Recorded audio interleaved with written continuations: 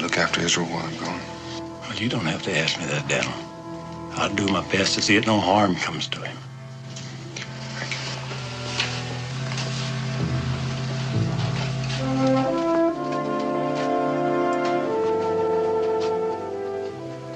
Israel? Pa? Right here, son. Have we got to Philadelphia yet? No, not yet. Remember we turned off the road to come here? Now I remember. How long are we gonna stay here? Well, not long, I hope. Except I'm gonna have to leave you for a little while. Ain't you gonna take me with you? Not this time. That's why I had to talk with you. Now, I want you to stay here with Gabe, and I want you to do everything he tells you to do. Will you do that for me? And you won't be scared. No, Pa. I won't be scared. You be a good boy. Captain's c- calling you. Go back to sleep.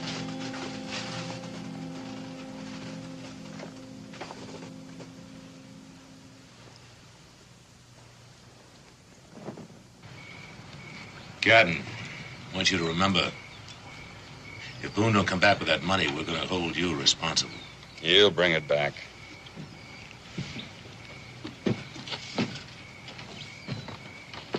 You know what you have to do. No. Remember, you've only got till sunup.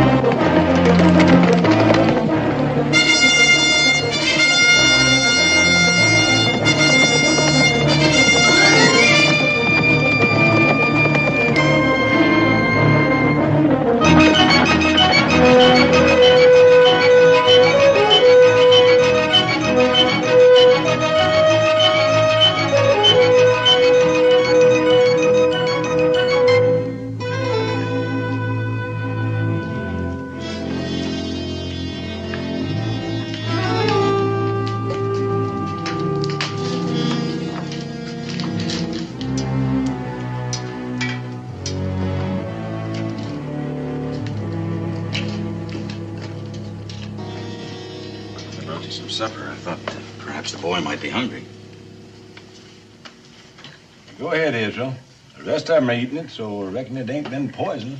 Thank you. Well, that's spoken like a little gentleman. And I must say that you're dressed like a gentleman, too. I may be little, but I ain't a gentleman. And I ain't gonna be one either. School or no school. Seems as though I've blundered on a rather touchy subject. You mind if I sit down? I find the time passes faster if you have someone to talk to. I'd figure you'd be more comfortable at the other side of the room. Are those four? I'd rather sit where I can keep an eye on them. I know how you feel, mister. Sit down if you mind to. Don't see it could do us any harm. Thank you. Do you know where my pa went? Yes, Israel, I know. He's coming back, ain't he? Yes, he is coming back. Nobody's gonna hurt him, are they? I give you my word, Israel, that no harm will come to him while he's gone. Do you believe him, Gabe? Well, I don't know why, but I reckon I do. Now, eat your supper, Israel. Thank you for your vote of confidence. Well, I wouldn't call it confidence. It's mostly because I can't figure where you fit into this. Don't try, Gabe. You'll only get more confused.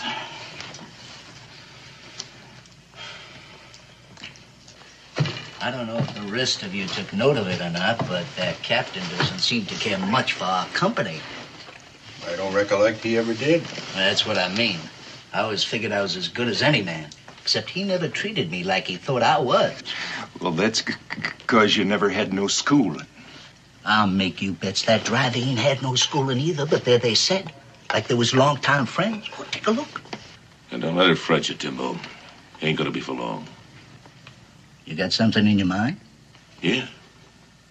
Yeah, I've been thinking when we leave here, we ain't gonna have much use for the captain. Plan on killing him? I ain't gonna let him run loose. Well, then let's do it now so we can get some sleep. Trouble with that is we don't know what the captain told Boone. Oh, that's right, that's right. Captain Harris is a cautious man. Could be Mr. Boone's gonna want to see him alive and healthy before we get paid off. That sleeping is a good idea. Ross, why don't you stay on guard for a while? hmm? No sense all of us staying awake. I'll spell you in an hour or two. Luther,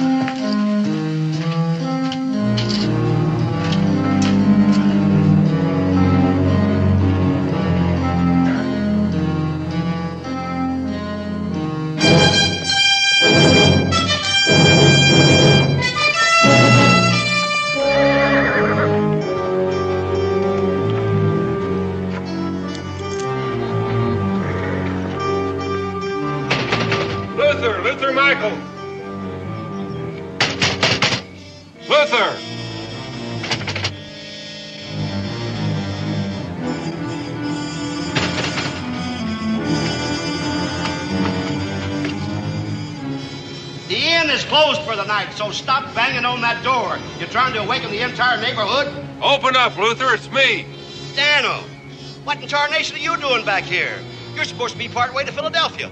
Are you going to open up or do I have to kick the door down? Be right down.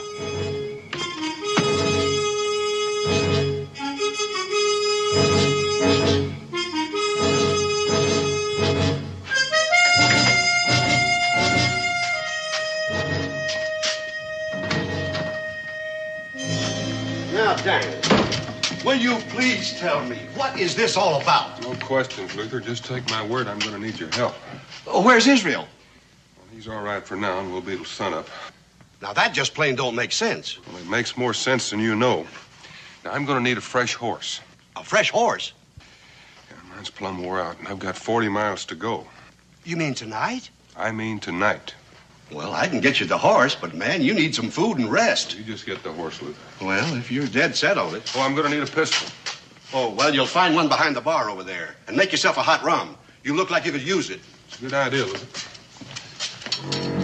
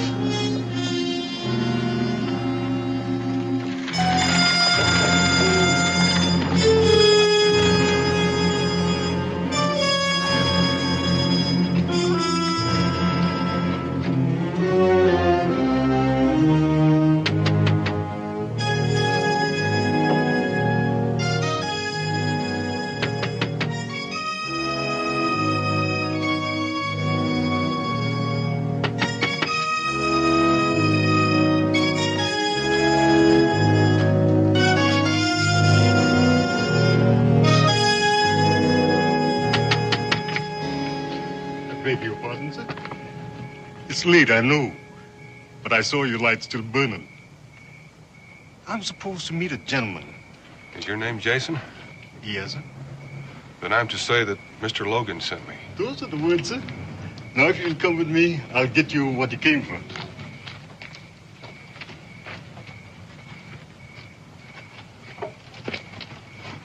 I don't suppose I have to count it. No, sir. You can take my word. It's there, just the way I was told. All right, Jason. Well, I'll be going then.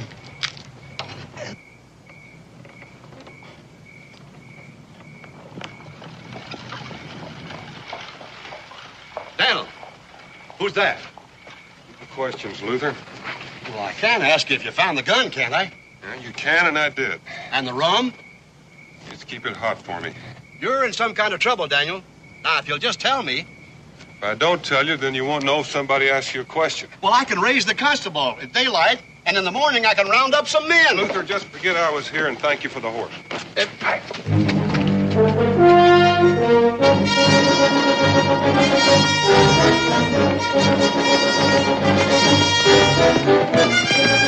Easy,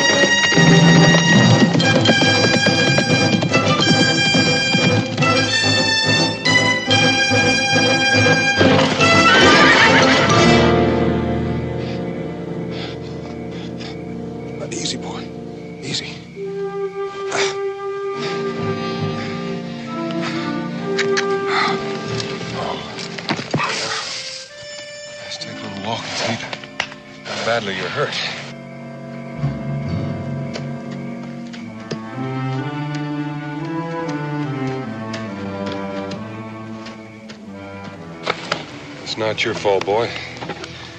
Looks like you've got us in a mess of trouble.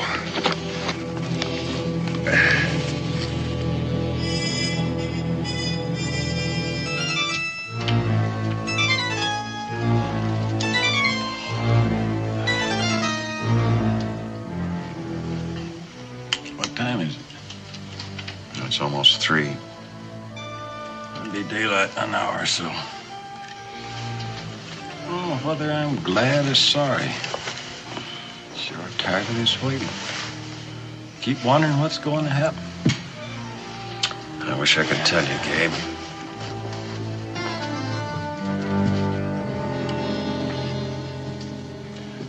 Getting, getting almost time to move out. Well, if you want anything to eat, you better get it now, then get the gear packed. We won't waste any time once Boone gets here. Yes, sir. I better saddle the horses, too. No, there's time enough for that. We'll wait till it gets light. Timbo. Come on, Timbo, wake up. Chow time. Huh? Let's just start the fire. Cross, ho, wake up. Oh, uh-huh. come on, cross. Get our gear together. You know, pack the saddlebags, roll these blankets up. I'm gonna look at the horses.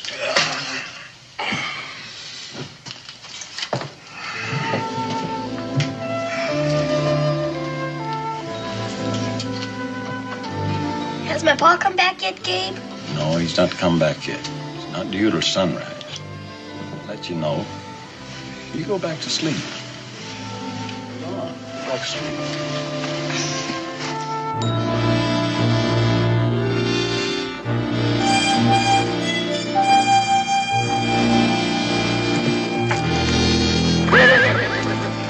Don't shoot, mister. I'm unarmed. I ain't got a penny on me.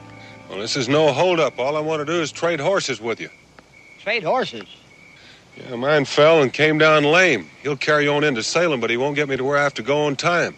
I don't like your proposition, mister, so step aside. Now, I don't like doing business this way, but you give me no choice. Will you listen? Now, I'm listening. I'm listening. All right, I want you to take my lame horse to Luther Michaels at the Golden Cup. I'll bring you your horse the first chance I get. Here's some money for your trouble.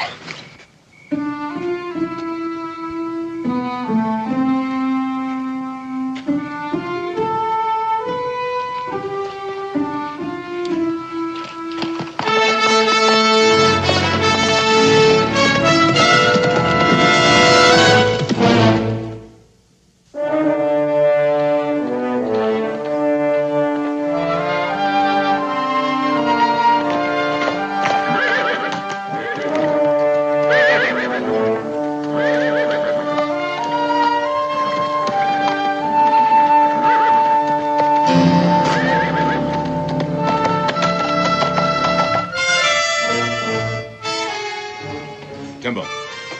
Look.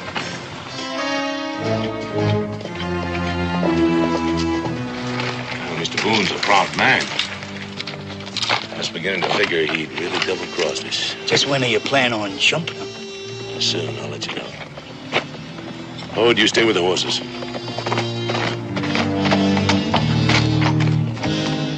Back, Mr. Boone. I trust you brought the money. I brought it. and I left it down the road a piece until I make sure that Gabe and my son are still alive. Captain, that could be a trap. You don't think I'd gamble with my son's life, do you? No, no, no, no. Israel's all right, Mr. Boone. Go on in and see for yourself. Just a minute. Yeah, Captain, you're getting awful careless. Mr. Boone might have brought a gun with him. Look for yourself. I'll do that. I'll sure do that.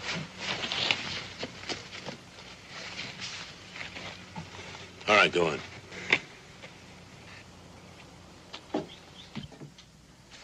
Pa! You all right, Israel? I'm fine, Pa, but I'm real glad you're back. You satisfied? Yeah, I'm satisfied. Now, where's the money? It's in an elderberry bush about a hundred yards up the road. You won't have any trouble finding it.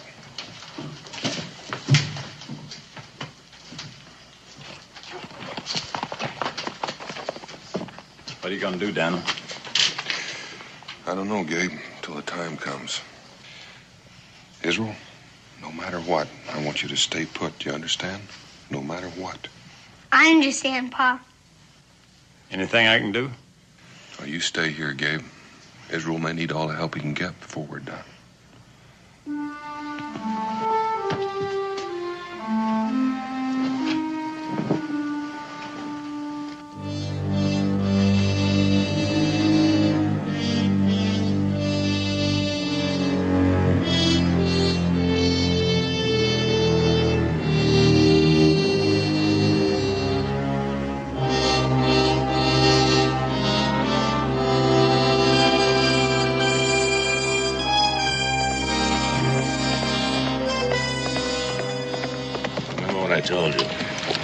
First move. That's good.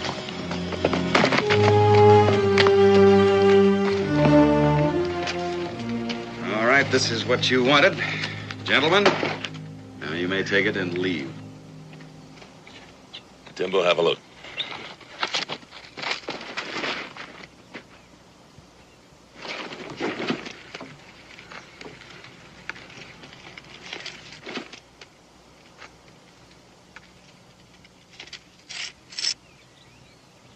All there? Sure looks like it. And it sure feels like it. You satisfied? No. No, not complete. You got what you wanted. What else am I supposed to do? What about the others? That, Mr. Lynch, is my affair. Captain. Turn around. Lynch, put that gun away. No, not this time, Captain. And about the others.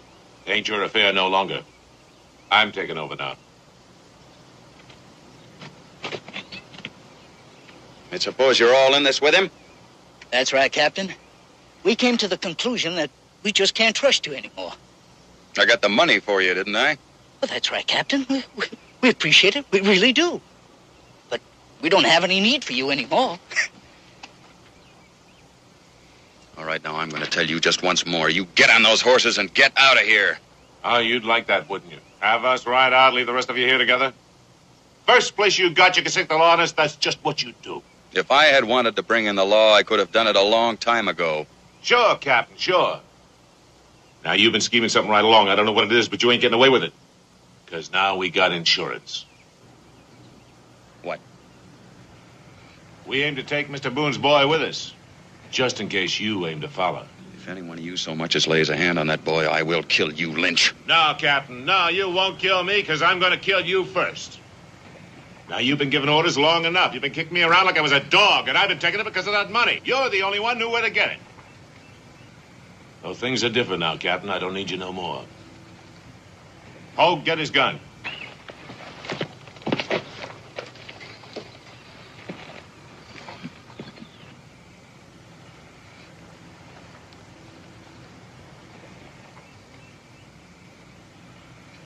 That kind of pulls your fangs, don't it, Captain? I reckon you won't be interfering with us no longer. You neither, Mr. Boone. You know, for a while I figured I'd have to shoot you, too. Now I doubt you'll give us much trouble. If you want to keep your boy alive. If you touch my son Lynch, Harris won't get a chance to kill you. I'll be there first. Well, now listen to you and your big talk. Mr. Boone, are you trying to scare me? I'm not trying to scare you. I'm trying to tell you. Do it, Captain. Just give me an excuse. Let my conscience set easy when I blow a hole through you. Cross, Go fetch Mr. Boone's boy. I told you, Captain, I've been looking forward to this. Go on.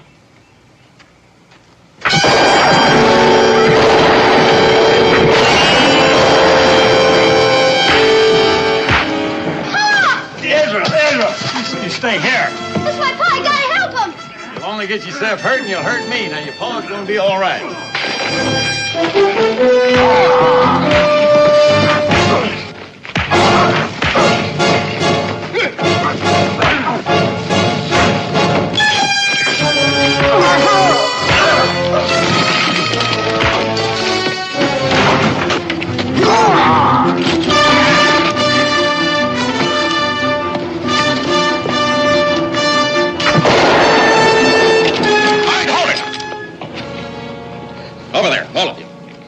Captain, it was it was Lynch's idea about the mother. Shut up, Timbo. You want me to tie him up? No, that doesn't fit in with my plans, Mr. Boone. I'll take that field report now, Lynch.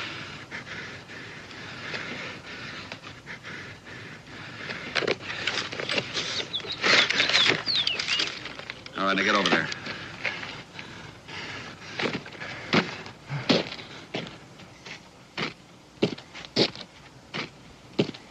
Now that I've got you lined up, I ought to shoot the lot of you. Go on, get on your horses and get out of here. Captain.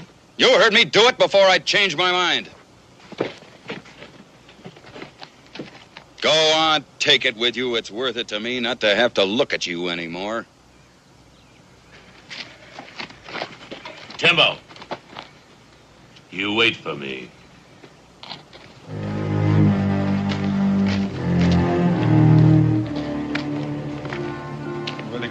Go?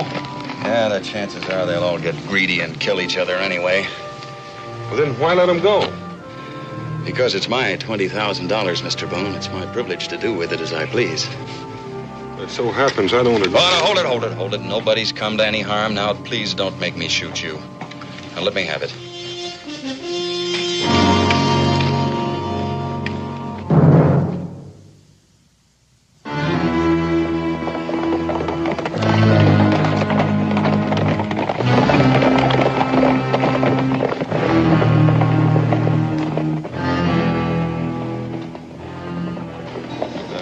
Hour's head start, and then you can be on your way.